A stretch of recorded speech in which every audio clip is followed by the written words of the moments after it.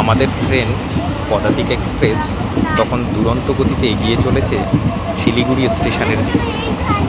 অনেকের মুখেই শুনেছি যে শিলিগুড়ি স্টেশন থেকে শিলিগুড়ি রেল যে ওভারব্রিজ আছে, তার উপর থেকে নাকি কাঞ্চনজঙ্ঘা দেখতে পাওয়া যায়।